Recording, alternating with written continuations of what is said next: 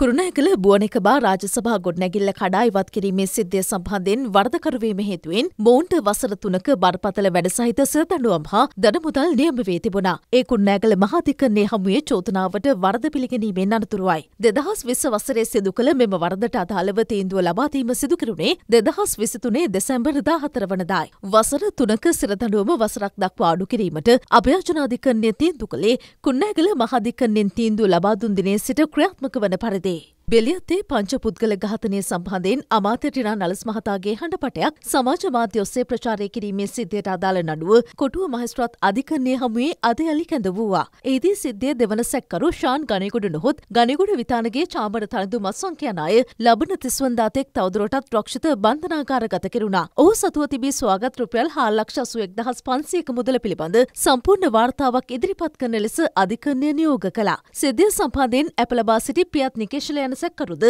අධික නීතිරියේ පෙනී සිටියා.